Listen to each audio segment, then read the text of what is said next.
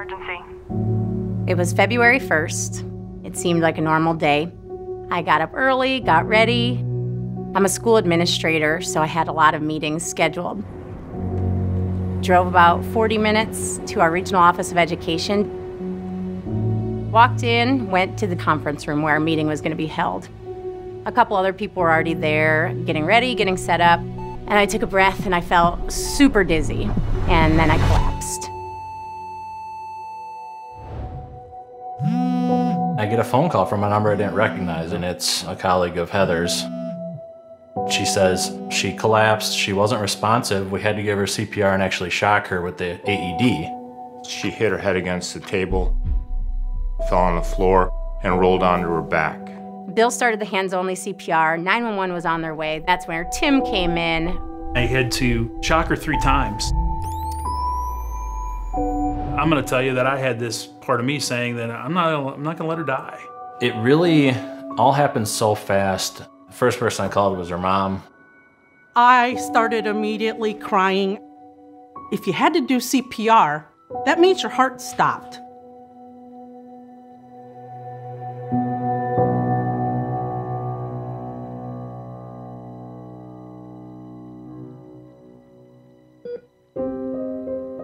After what felt like forever, a doctor came in and they said, well, because they had to use the AED, they're fairly certain it was cardiac arrest.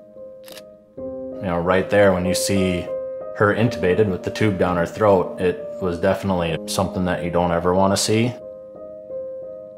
It was, uh, yeah, it was, it was definitely scary. I walked into the hospital. Paul was standing there, and he said, She's on life support. I remember screaming out in the lobby, I can't go through this again. I lost my mother and my father to this. I cannot lose my daughter to this. When I got to the hospital, they placed me in a medically induced coma, and I was on a ventilator. I had all the tubes in all of the places. By the end of the day, I wasn't waking up. So they told my family that because I had lost so much oxygen to the brain over the 10 to 12 minutes of the incident, I might not walk or talk again on my own. You know, you live every day to the fullest because in the blink of an eye, your life could be over. And to me, that is what happened.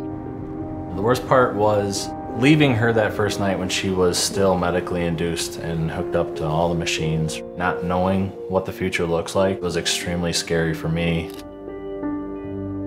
To be 28 years old and to find out you went into cardiac arrest is surreal. From the time I was born, I was a very energetic kid. So I think the most surprising thing about this experience to me was that I was healthy. She played sports, she was a softball player, a cheerleader, and everything seemed fine. I was exercising, I was staying active, I was going to doctors regularly, I was eating healthy. I never suspected something would happen to my heart.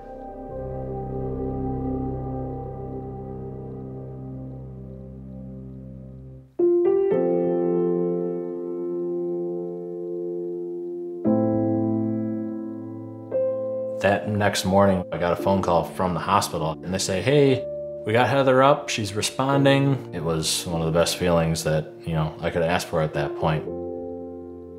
Their guess is that my potassium levels in my body had gotten really, really low. So there's a condition called long QT syndrome in which your long beats are too long and my short beat hit at the same time, which put my heart into an electrical frenzy. It just basically shorted a fuse but because they were able to keep blood and oxygen circulating through my body and up to my brain, I was able to, to regain um, my life. Heather's electrophysiologist, which is her heart doctor, said that only 9% of people survive this and less than 1% survive with no brain damage at all. I don't remember those first couple of days. But then I got transferred to another hospital where they decided to give me a subcutaneous defibrillator so that in case this happens again, it'll be able to shock my heart. It took me quite a while to feel better, for my wounds to heal.